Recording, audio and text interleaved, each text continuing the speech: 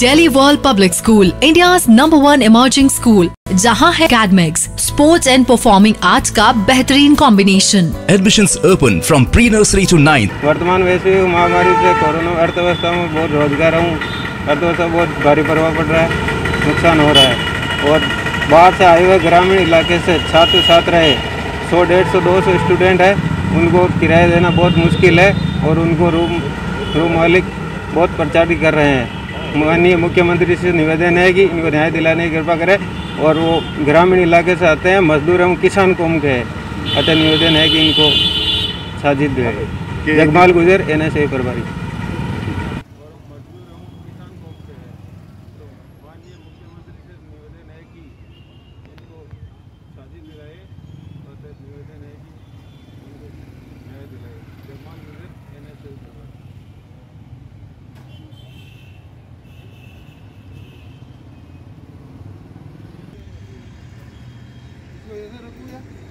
हाँ खोल लिया